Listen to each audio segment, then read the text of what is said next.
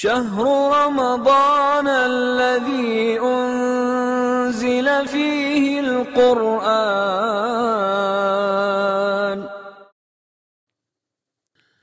طيب بسم الله الرحمن الرحيم. السلام عليكم ورحمة الله وبركاته. الحمد لله والصلاة والسلام على رسول الله. وبعد Alhamdulillah pagi ini kita kembali berjumpa.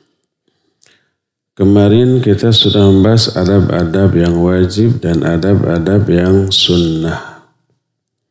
Sekarang kita masuki bab al-muftirat. Artinya perkara-perkara yang membatalkan saum.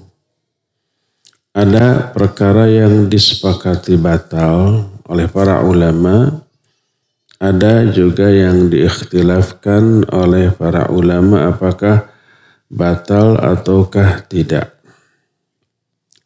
Kita akan memulai pembahasan dengan perkara-perkara yang disepakati oleh seluruh ulama bahwa itu membatalkan saum. Pertama adalah jima, melakukan hubungan suami istri di siang hari ketika saum Ramadan. Dan ini dosa terbesar dengan denda yang terberat. Kalau seseorang sedang saum baik fardu ataupun sunnah, lalu dia melakukan hubungan suami istri dengan istrinya, batallah saumnya. Kalau saum itu saum Ramadan, maka selain diqadha, ada kifarat yang berat. Pertama, dia wajib untuk membebaskan seorang hamba sahaya yang mukminah.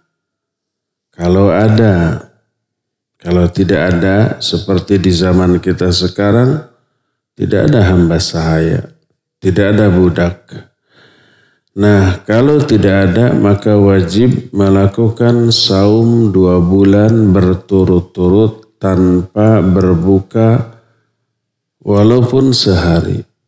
Kecuali kalau berbukanya itu ada udur syar'i. Udur syar'i seperti kalau sakit atau melewati hari-hari yang terlarang untuk saum seperti Idul Adha dan hari-hari tasyriq. Umpamanya mulai apa namanya e, melakukan saum dua bulan itu umpam di bulan Dhul Qa'dah. Bulan Dhul Qa'dah sebulan, masuk bulan Dhul Hijjah. Karena dua bulan pas Idul Adha masih waktu saum maka Idul Adha tidak boleh saum. Demikian juga hari-hari tasyriq. Kalau Idul Adha tanggal berapa? 10 Dhul Hijjah. Hari tasyrik mulai 11, 12, dan 13. Lewat keempat hari itu mulai lagi nanti tanggal ke 14. Atau dia safar dengan safar yang berat. Boleh berbuka. Adapun tanpa uzur syar'i Umpah istirahat aja sudah sebulan saum nih. Sekarang batal dulu karena ada yang menyembelih kambing lebar. Tidak boleh dia batal. Ya. Oh karena ada yang hajatan menunya spesial. Hajatannya di gedung Selain makanan biasa banyak makanan-makanan pendukung. Ada es krim, ada lontong kari, ada buah-buahan, ada segala macam. Lalu batal tidak boleh. Kalau ternyata dia batal tanpa ada uzur syar'i, maka dia harus memulai lagi dari awal. Umpamanya dia sudah 50 hari Pas lima, hari ke-51 batal tanpa ada alasan. Maka wajib diulang dari awal tuh. Berat apa tidak? Berat ya. Jadi kalau tidak memiliki hamba sahaya maka saumlah dua bulan berturut-turut. Tapi kalau tidak mampu untuk saum dua bulan berturut-turut, adakah gantinya? Ada, yaitu memberi makan 60 fakir miskin. Masak untuk 60 porsi bagikan ke para fukara dan masakin ya itu tiga alternatif hukuman bagi orang yang melakukan hubungan suami istri di siang hari Ramadan dalam keadaan saum. Pertama bebaskan hamba sahaya. Yang kedua kalau nggak mampu atau nggak punya seperti di zaman sekarang saumlah dua bulan berturut-turut. Kalau ternyata tidak mampu, maka memberi makan kepala 60 fakir miskin. Apa yang menjadi dalil? Yang menjadi dalil adalah hadis sahih. Riwayat Imam Muslim dalam kitab Sahih Muslim.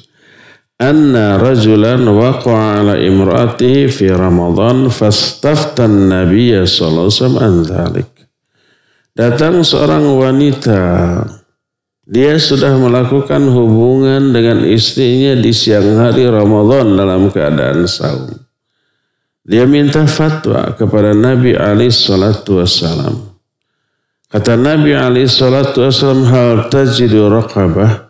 Kamu memiliki hamba yang bisa kamu bebaskan apa tidak?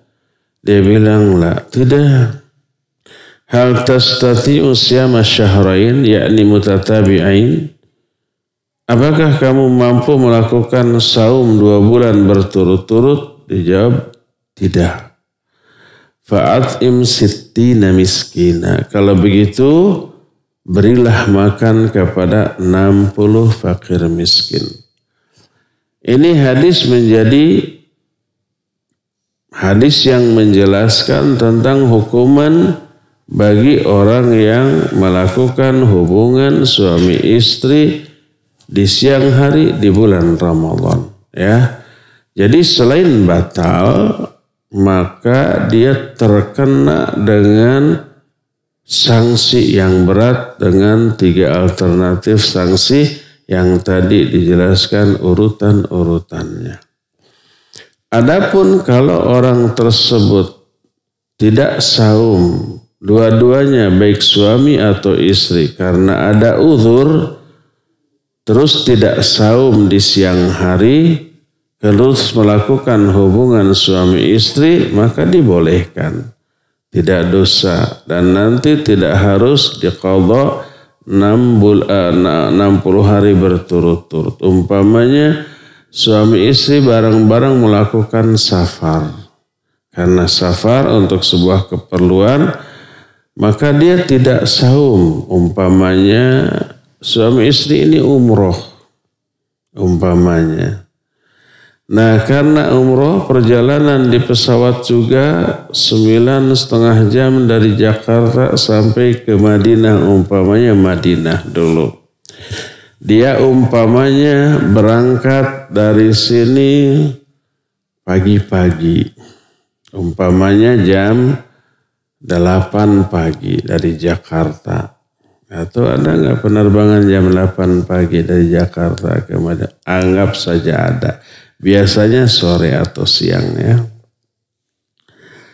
Jam 8 dari sini nggak saum. Karena safar. Ya. Terus sampai di Madinah sembilan setengah jam. Hampir 10, anggaplah 10 jam.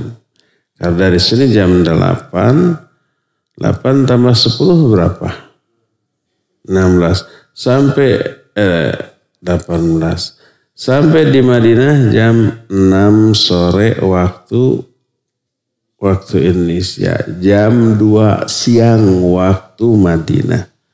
Masih panas di sana ya. Tapi karena safar tidak saum, lalu masuk ke dalam hotel dulu. Nah, walaupun siang karena tidak saum, Suami istri sekamar melakukan hubungan suami istri di sana tidak apa-apa. Karena dalam posisi tidak saum, tidak terkena ya. Itu contoh yang pertama. Ada lagi. Suami istri tidak safar, ada di rumah, siang hari melakukan hubungan suami istri karena tidak saum, tidak dosa, dan tidak harus didenda dengan tiga alternatif denda tadi. Bisakah? Bisa. Contoh umpah di hari itu istrinya uh, ada di rumah dalam keadaan haid. Tapi hari terakhir jam 8 pagi sudah suci. Tapi dia tidak saum. Karena waktu subuh tadi masih haid.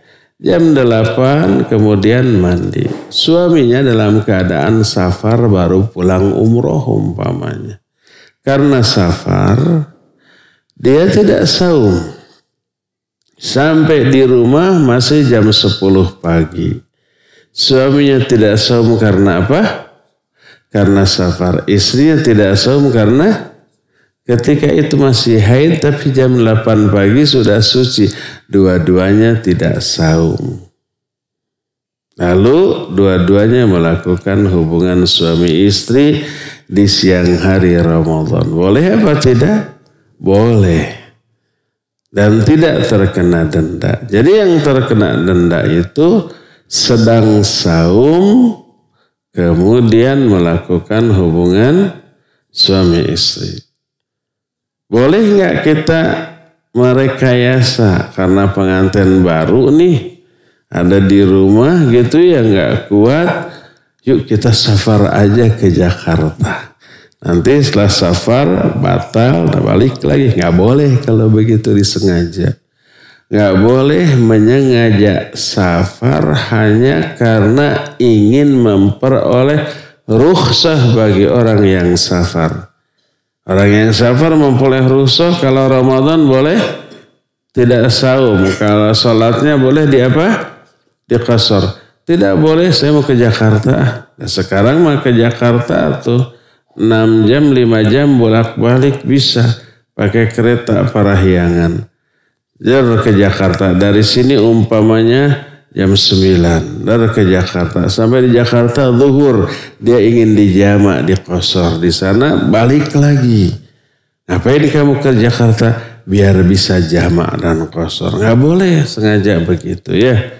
Tapi safarnya benar-benar harus karena ada keperluan. Itu yang pertama yang benar-benar membatalkan saumnya yaitu melakukan hubungan suami istri di siang hari dalam keadaan saum dua-duanya maka terkena denda yang berat. Siapa yang terkena denda berat apakah suaminya saja, istrinya saja atau dua-duanya? Ulama ikhtilaf. Ada yang menyatakan dua-duanya.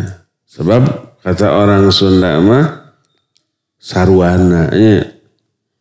Harusnya istri menolak, wajib menolak kalau suaminya menginginkannya pada waktu itu wajib menolak. Tapi dasar sarwana gitunya. Nah, makanya kena dua-duanya. Ini yang pertama.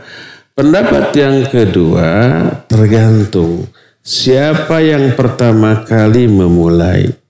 Kalau yang memulai adalah suami, suami yang kena. Kalau yang memulai istri maksa, maka istri yang kena.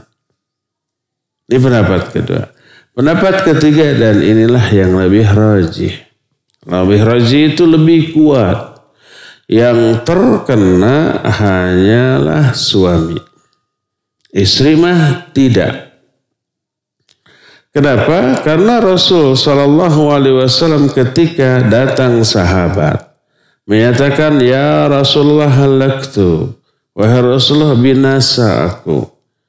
Kata Nabi SAW ahlakaka apa yang membuat kamu binasa? Dia bilang waqatu ala imraati wa ana saim aku menggauli istriku dalam keadaan saum Ramadan. Lalu Nabi bertanya, hal tajidu raqabah, bisa nggak kamu bebaskan satu hamba saya? Nggak, nggak bisa. Nggak punya hamba saya, nggak punya uang untuk membelinya. Harga hamba saya itu mahal. Hamba saya itu orang dan bisa dijual belikan, ya. Terus ditanya lagi hal tastati usia masyahrain mutatabi'ain. Mampu nggak kamu saum dua bulan berturut-turut? Dijawab tidak. Tidak mampu.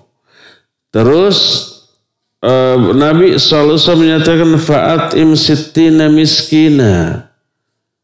Kalau begitu beri makan 60 fakir miskin. Kata dia, saya juga tidak mampu. Akhirnya Nabi Shallallahu Alaihi Wasallam masuk ke rumah, kemudian membawa sekantung kurma, bagikan ini ke orang-orang fakir yang ada di sekitarmu. Dia bilang, ya Rasul tidak ada orang yang lebih fakir daripada aku. Dia paling fakir. Beliau tertawa kemudian berikan ini sodakohkan kepada istrimu.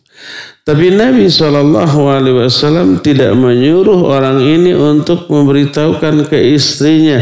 Istrinya juga harus begitu. Saum dua bulan berturut-turut. Tidak. Syariat itu hanya bagi sang laki-laki tersebut ya. Maka wanita tidak. Tapi walaupun wanita tidak terkena jangan maksa loh. Kasihan suaminya nanti harus didenda saum dua bulan berturut-turut. Dan tidak boleh menyengaja dilanggar ah kita mah banyak uang. Jangankan 60 orang fakir miskin seribu orang juga. Kita mah bisa darwe tiap hari. Nggak boleh disengaja seperti itu ya inilah poin pertama yang membatalkan saum yaitu jima kedua yang dianggap membatalkan saum inzalul mani bi ikhtiyarihi. Kedua, keluar sperma dengan disengaja, diikhtiarkan. Baik dengan istimta. Istimta bahasa kitanya onani, bahasa Indonesianya, ya. Baik laki ataupun perempuan atau sengaja bercumbu dengan istri walaupun tidak walaupun tidak seluar uh, sperma. Tapi ini tidak disepakati. Sebagian ulama menyatakan batal sebagian menyatakan tidak Adapun yang menyatakan batal berdasarkan hadis kursi ia da'u ta'amahu wa syarabahu wa syahwatahu min ajli. Orang yang saum itu kata Allah Azza wa Jalla aku yang akan memberi balasannya. Kullu amalin kullu amal ibni Adam lahu ya. Semua anak amalan anak Adam bagi diri mereka dan satu kebaikan dilipat gandakan 10 sampai 700 kali lipat. Illa saum fa innahu li wa ana ajzi bihi yada'u ta'amahu wa syarabahu wa syahwatahu min ajli. Kecuali saum. Karena saum itu dilakukan untukku dan aku yang akan membalasnya dia meninggalkan makanan, meninggalkan minum, dan meninggalkan syahwat karena aku. Jadi ketika ada syahwat muncul, dia sengaja menghindar. Sama dengan lapar melihat makanan, dia jauhi. Haus melihat minuman, dia jauhi. Tidak menyentuhnya, tidak makan dan tidak minum. Demikian juga syahwat, dia hindarkan. Nah, oleh karena itu orang yang sengaja mengeluarkan spermanya dengan diikhtiarkan, maka dianggap dia tidak menahan diri, menjauhkan diri dari syahwat. Sama dengan tidak menahan diri dari makan dan minum.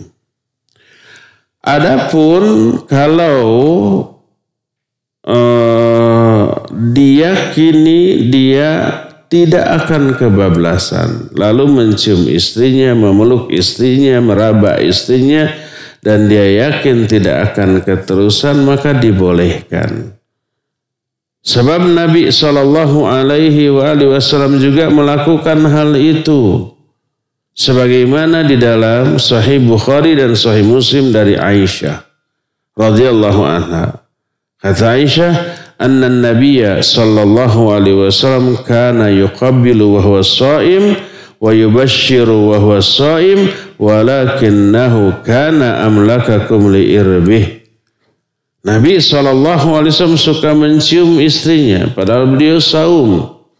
Dan beliau juga suka yubashir. Yubashir itu meraba-raba badan istrinya padahal beliau saum. Tapi beliau adalah orang yang paling kuat menahan syahwatnya. Maka dibolehkan. Adapun kalau syahwat sedang menggebu, pengantin baru umpamanya, ya, maka sebaiknya tidak melakukan itu. Jangan mendekati istri, jangan coba mencium istrinya, memeluk istrinya, karena gedenya syahwatnya dikhawatirkan apa? Kebablasan, keterusan, tidak mampu menahan diri. Ya, suatu saat Nabi saw berkumpul dengan para sahabatnya. Tiba-tiba datang seseorang yang sudah berumur. Kemudian dia berkata, "Ya Rasulullah, aqabbilu wa ana wa ana shaim?" Wahai Rasulullah, boleh enggak saya mencium istri dalam keadaan saya saum? Kata Nabi Shallallahu Alaihi Wasallam, boleh. Senang nih laki-laki ini pulang. Tak lama kemudian datang pemuda. Dia bertanya, ya Rasulullah, aqabbilu wa ana shaim? Wahai Rasulullah, boleh nggak saya mencium istri padahal saya sedang saum? Kata Nabi SAW tidak boleh. Para sahabat kaget. Dua orang menanyakan satu pertanyaan yang sama, tapi jawabannya berbeda. Kok yang tadi boleh, yang ini nggak boleh. Pilih kasih seolah-olah melihat ekspresi kekagetan, keanehan para sahabat, lalu Nabi Shallallahu Alaihi Wasallam menjelaskan, adapun orang tadi karena syekha, dia itu sudah sepuh, sudah tua, sudah berumur, syahwatnya sudah tinggal sepuluh watt, dia tidak akan kebablasan. Adapun yang barusan karena syabab. Karena syaban. Dia masih muda. Syahwatnya masih menggebu, masih tinggi, masih 100 watt. Kuat banget. Dikhawatirkan kalau dibolehkan mencium istrinya mungkin saja dia pengantin baru. Nanti dia kebablasan. Ya, karena mungkin istrinya juga memberi respon. Respon dari istri tambah menyalakan syahwat dia lebih menggebu daripada sebelumnya. Akhirnya terjadilah hubungan suami istri. Makanya dilarang oleh Nabi Shallallahu Alaihi Wasallam. Ya, maka boleh nggak kita bercumbu dengan istri berpelukan, mencium ketika pada siang hari tergantung ya. Kalau kita yakin mampu lah nggak akan gitu ya. Usia di atas 50-an, 60, 70 mampu menahan syahwatnya ya silakan. Tapi kalau usia di bawah itu ketika masih gede-gedenya syahwat sebaiknya jangan. Adapun adapun keluar sperma karena tidak disengaja. Keluar sperma bukan karena diikhtiarkan, maka tidak membatalkan saumnya. Umpamanya seseorang dia itu tidur di siang hari. Ternyata mimpi jadi pengantin baru. Mimpi melakukan hubungan suami istri sampai keluar sperma. Disebutnya apa? Mimpi basahnya. Yang setiap hari mimpi basah mas sebenarnya balita. Ngompol. Nah, tapi yang dimaksud mimpi basah ketika tidur bermimpi melakukan hubungan suami istri atau yang sejenisnya sampai keluar sperma. Maka itu tidak membatalkan uh, saumnya. Tidak batal saumnya. Kenapa? Karena bukan hasil ikhtiar dia. Bukan keinginan dia. Mimpi itu tidak bisa direncanakan. Mimpi itu tidak bisa sesuai dengan keinginan kita. Kalau kita bisa merekayasa mimpi, wah, nggak akan pernah ada mimpi buruknya. Setiap malam mau mimpi yang enak-enak, yang indah-indah saja sudah. Ketika mau tidur, kita merencanakan dan berharap mau mimpi jadi pengantin baru, ah gitu ya biar happy gitu. Tak tidur. Apa yang terjadi? Dikejar-kejar orang gila. Sampai cucu lewengan. Tapi suaranya nggak keluarnya. Mimpi nggak bisa direkayasa, nggak bisa direncanakan, nggak bisa sesuai dengan keinginan kita. Maka kalau di dalam tidur kita kita mimpi basah, kita mimpi melakukan hubungan suami istri sampai keluar sperma, maka itu tidak membatalkan saum kita. Teruskan saja saum, tapi wajib dia mandi junub kalau dia mau melakukan sholat. Tidak batal saumnya, tapi tetap dia terkena dengan kewajiban harus mandi. ya Terkena kewajiban harus mandi besar. Inilah hal pertama yang membatalkan saum, yaitu Pertama melakukan hubungan suami istri dan itu disepakati. Yang keduanya adalah mengeluarkan sperma secara disengaja ya, secara disengaja. Adapun mengeluarkan sperma secara disengaja. Tadi disebutkan ikhtilaf di kalangan para ulama ya. Ada yang menyatakan batal. Yang menyatakan batal, apakah orang tersebut hanya wajib qadha saja atau orang tersebut juga terkena denda seperti yang melakukan hubungan suami istri tadi. Dia harus saum 6 bulan, ah, 6 bulan, 2 bulan berturut-turut atau makan, memberi makan 60 fakir miskin. Maka yang kedua ini tidak. Dia hanya batal saja dan wajib diqadha nanti hanya satu hari. Dia tidak terkena dengan denda yang tadi. Ya, Itulah poin yang pertama. Kedua, yang juga disepakati oleh para ulama. Membatalkan saum adalah al-aklu wasyurb makan dan minum. Tapi makan dan minum dalam keadaan sadar dan disengaja. Dalam keadaan sadar maknanya tidak di, di, di, di bawah paksaan siapa pun. Ya. Maka yang dimaksud makan adalah memasukkan makanan sesuatu makanan, minuman, atau yang lainnya, termasuk obat, yang dimasukkan melalui mulut sampai ke, e, masuk ke tenggorokan dan sampai masuk ke lambungnya. Baik melalui makanan, e, melalui e, mulut ataupun melalui hidung. Apa pun jenis yang dimasukkan itu. Maka itu yang disebut dengan makan dan minum itu batal. Termasuk minum obat nggak pakai air, tetap saja ada yang dimasukkan. Allah berfirman, wa kulu washrabu hatta yatabayyana lakumul khaytul abyadu minal khaytil aswadi minal fajr thumma atimmu siyama ilal lail Makan dan minumlah kamu sehingga jelas bagi kamu antara benang putih dan benang hitam berupa fajar. Lalu sempurnakan saum kalian sampai malam. Maksud malam adalah awal malam.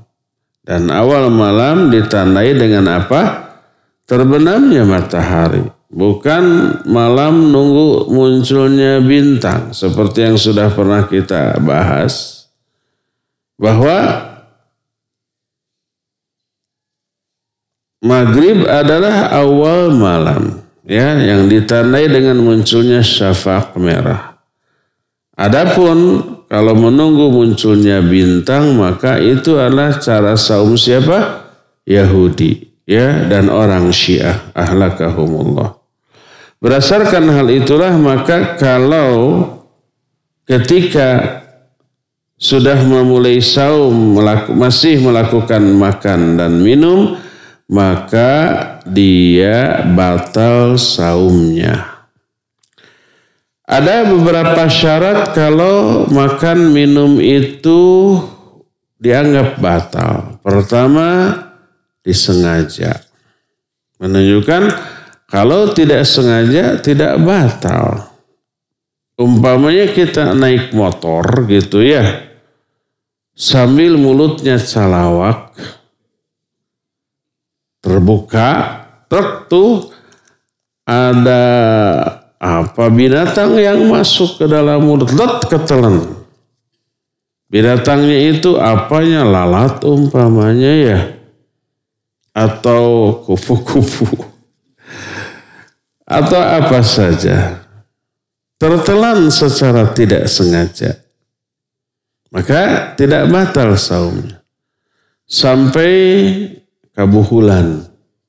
Apa bahasa Indonesia kabuhulannya keselak ya sampai keselak sampai itu tak cecekukan Kabuhulan itu begitu suara ceceklekannya. Penyebabnya tersumbatnya tenggorokan oleh sesuatu. Minum-minum-minum kan gitu ya kalau kabuhulan. Nah ini kalau sampai tanpa sengaja tertelan, walaupun sampai kabuhulan tidak batal. Karena tidak sengaja. Bukan ikhtiar kita ya. Tapi nggak boleh, aduh saya kabuhulan minum. nggak boleh, batal minumnya ya. Tapi kalau ada sesuatu yang masuk tanpa sengaja, maka tidaklah batal. Pertama sengaja. Kedua, dalam keadaan ingat bahwa dia sedang saum. Adapun kalau lupa, dia lupa sedang saum. Karena kebiasaan.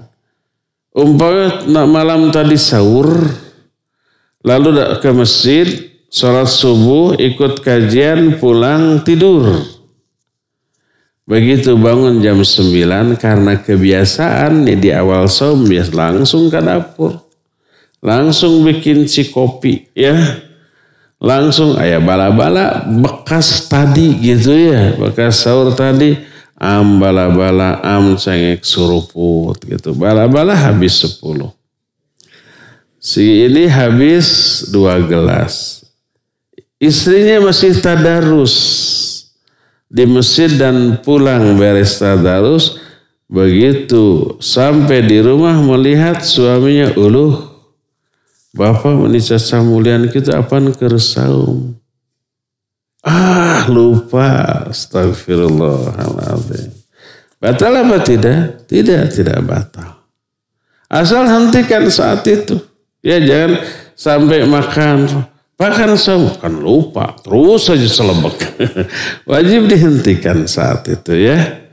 Ada yang di mulut dimuntahkan lagi saat itu.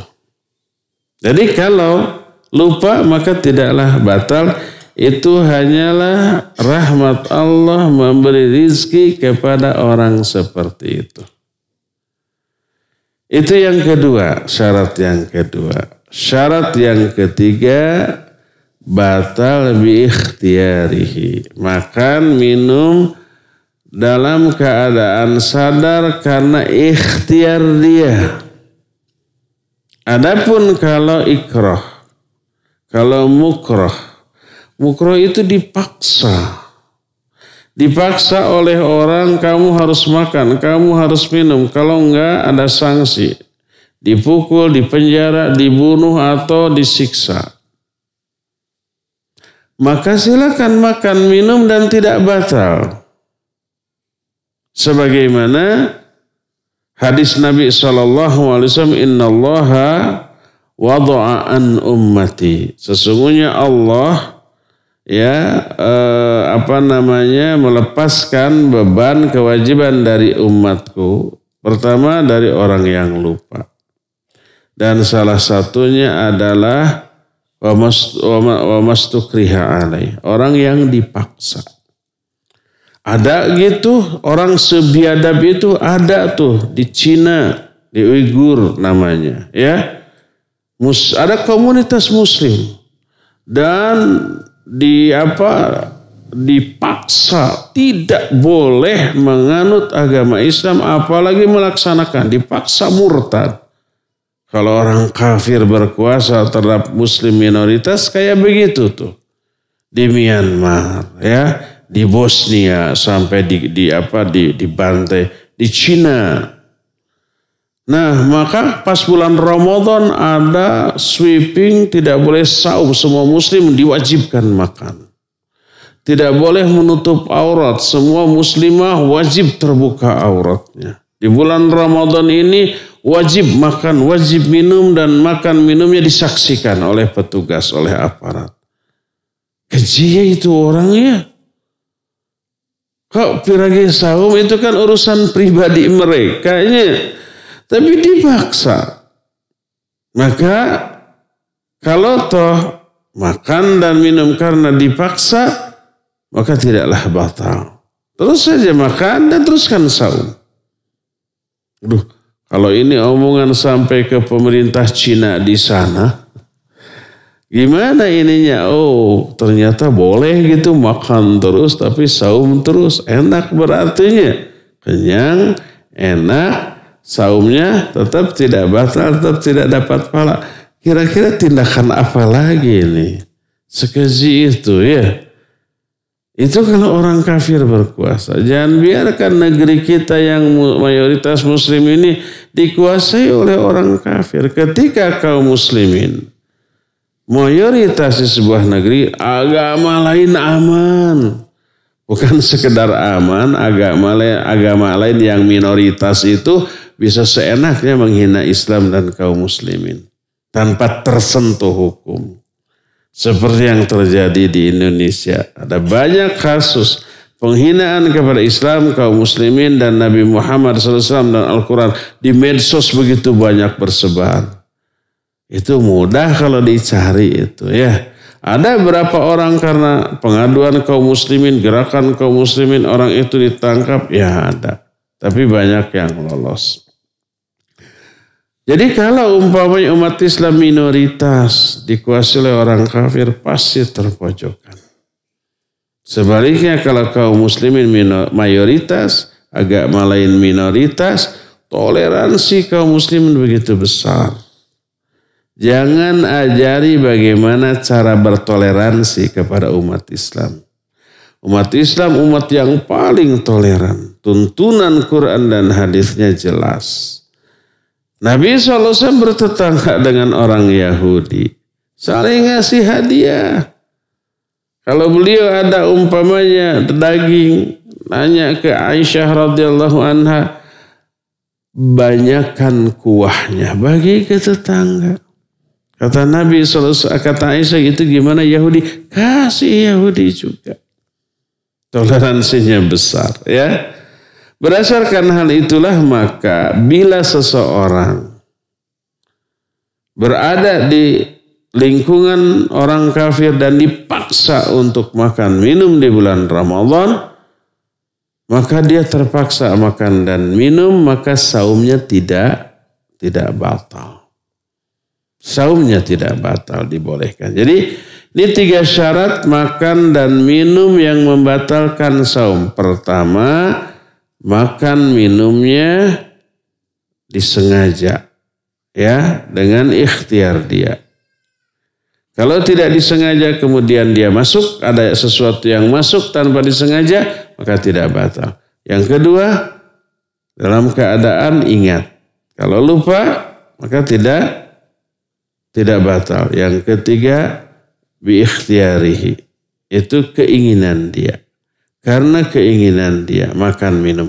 Adapun kalau dia nggak ingin makan, ingin nggak ingin minum, ingin tamat tapi dipaksa makan, maka tidaklah batal ya. Inilah tiga syarat batalnya saum karena makan. Nanti ada beberapa pembahasan yang berkaitan dengan hal ini. Apakah disuntik batal atau tidak? Diinfus batal atau tidak? Menghisap uh, inhaler batal atau tidak? Ya. Kemudian uh, memakai uh, mouth spray untuk mengharumkan nafas disemprotkan gitu ya. Apakah itu batal atau tidak? Meneteskan obat tetes ke hidung ketika hidung mempet, ke telinga, hitut dinacai. Apakah batal ataukah tidak? Insya Allah kita akan bahas di hari esok. Untuk sekarang cukup sampai di sini dan kita masuki sesi tanya jawab di dipersilakan kepada CP untuk memandu tanya jawab. Wassalamualaikum ala nabiyina Muhammadin wa ala alihi wa wasallam. Silakan CP. Syukron Ustaz atas uh, materi yang disampaikan di pagi hari ini. Dan Alhamdulillah sudah ada telepon yang masuk yang akan bertanya. Ya kami persilakan. Halo. Assalamualaikum. Waalaikumsalam warahmatullahi Dengan siapa di mana Bapak? Dari markasnya Pak Mulyono. Ah, silakan Pak Mul. Silakan Pak. Assalamualaikum warahmatullahi wabarakatuh, Pak Waalaikumsalam warahmatullahi wabarakatuh. Saya mau tanya yang tadi yang membatalkan dikena sanksi yang hubungan suami istri siang hari. Nah, kemudian kena sanksi mengkotor dua bulan berturut-turut. Kalau tidak kuat, memberi makan 60 orang itu dua bulan apa hanya sehari 60 hari 60 orang itu. Sekian. Assalamualaikum warahmatullahi wabarakatuh. Waalaikumsalam warahmatullahi wabarakatuh. Pak Mulyono nanya ini mau melanggar gitu? Tapi Pak Mulyono itu tua-tua juga keladi ya. Sudah sepuh tapi kuat dan selalu hadir tuh di kajian. Apakah memberi makan 60 fakir miskin ini tiap hari atau hanya sekali? Hanya sekali. Kalau tiap hari mah 60 kali 60 berapa? 3.600 porsi gitu. Aduh jebol. Enggak. Jadi cuma ke 60 fakir miskin sekali saja. Karena satu fakir miskin mewakili satu hari. Satu hari ngasih makan ke satu fakir miskin. 60 hari berarti 60 fakir miskin. Begitu ya Pak Mulyono. Wallahu a'lam. Ada lagi ke ini pendengar di sini eh ke jamaah. Mana mic mic mic. Ah, mangga. Assalamualaikum Ustaz. Hmm. Assalamualaikum warahmatullahi uh, Bagaimana uh, sikap kita dalam menghadapi orang yang tidak berpuasa? Sebab uh, ada sebagian kaum muslimin kalau melihat orang yang tidak puasa itu uh, sebelum dinasihati itu ditabok dulu, dipukul dulu. Uluh. Bagaimana hal tersebut? Itu saja. Terima kasih. Wassalamualaikum warahmatullahi wabarakatuh. Iya, Waalaikumsalam warahmatullahi wabarakatuh. Iya. Bagaimana mensikapi orang yang tidak saum? Pernah nggak lihat video di Pakistan? Orang yang kedapatan tidak saum oleh polisi ditangkap lalu dicambuk, dipecut sampai ampun-ampunan. Uh, iya, pertama kita ketika ada orang yang tidak saum tanpa uzur, nasihati. Wajib di apa? Didakwahi, dinasihati. Kalau tidak, maka pemerintah menangkap dia, memenjarakan dia dan dia diistitab. Istitab itu di, di, di, diminta untuk tobat. Tapi pemerintah kita bukan pemerintah Islam. Ya. Karena, tapi uh, itu hanya terjadi kalau khalifah kekhilafahan sudah tegak dan kaum muslimin di seluruh negeri atau di negeri tertentu menerapkan aturan Islam. Ada hukuman untuk itu, tapi yang melakukan adalah aparat yang ditunjuk untuk itu. Adapun individu kaum muslimin sesama warga maka tidak boleh. Karena warga bukanlah eksekutor, bukanlah pelaksana dari hukum yang diberlakukan. Itu benang aparat. Cuma sistem yang berlaku di negeri kita tidak demikian. Yang harus kita lakukan ya paling kita menasihati. Kalau orang tersebut di bawah wewenang kita, kita bos, dia karyawan. Kita uh, guru, dia murid. Kita orang tua, dia anak kita, adik kita. Boleh kita beri sanksi. Dibolehkan karena wewenang yang kita miliki. Ya, Umpamanya karyawan, kalau yang tidak saum, kedapatan tidak saum, sudah di SP. Kamu nggak saum. Tiga kali berturut-turut kamu dipecat. Bisa saja begitu ya. Kalau umpamanya dia dosen kedapatan ada mahasiswa mahasiswa tidak saum tanpa uzur udah kamu nggak akan lulus mata kuliah saya. Bisa begitu? Boleh kalau begitu ya. Jangan sampai terbalik ya menteri agama zaman sekarang itu gimana ngomongnya? Wajib orang yang berpuasa menghargai orang yang tidak puasa. Liarnya jangan gitu. Bukannya terbalik. Jadi kalau ada orang tidak saum makan gitu, wajib dihargai itu. Bukan sebaliknya itu. Inilah kalau Orang sudah menjadi corong pesanan orang lain. Pokoknya bagaimana agar selain muslim itu bebas lah gitu. Muslim walaupun mayoritas mah jangan macam-macam loh. Kalian banyak. Tapi kalian lemah. Siapa yang menguasai perekonomian? Orang kafir. Siapa yang menguasai media? Orang kafir. Dua itu aja kuasai menguasai negara. Nanti kalau ada macam-macam di blow apa aja di media. Gimana kita isi beritanya. Orang awam di kampung-kampung nggak akan tahu yang sebenarnya pasti percaya berita di TV. Oh, semua berita TV dikuasai oleh orang kafir. Gimana tuh? Oleh karena itulah maka ya racun yang merasuki pikiran mayoritas warga di setiap negara itu masuk melalui media. Media TV, media internet, kalau koran sekarang sudah jarang, ya radio masih. Tapi terutama TV dan internet itu.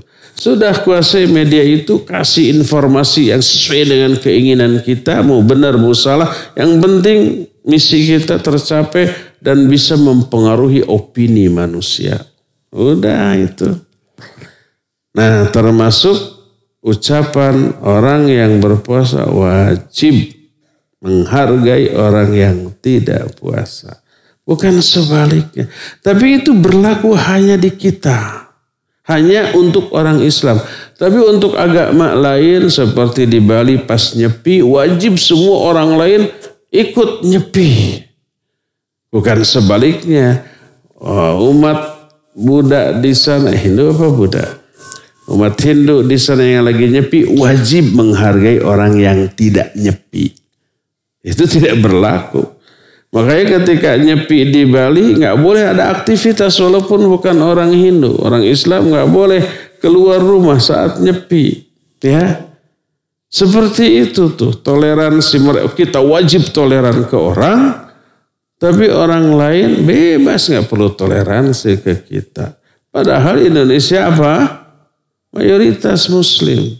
Tergantung siapa yang berwenang, berkuasa, dan siapa yang membackupnya. Yang membackup, yang berkuasa orang-orang muslim. Yang membackup, membackup-nya orang kafir. Uang banyak, melimpah, media dikuasai. Mau apa gitu. Kalau ada macam-macam, udah beritakan aja di, di, di TV, di media dengan isi berita sesuai dengan keinginan mereka. Orang-orang di kampung-kampung, orang awam nggak ngerti. Oh beritanya gitu-gitu, percaya. Jangan percaya kepada berita di TV ya. Itu hoax kebanyakan ya. Selain infotainment yang gibah, berita-berita juga hoax. Jangan percaya ya. Wallahu a'lam bishawab. Cukup ya sampai di sini kita tidak seperti biasa karena saya harus keluar kota sekarang.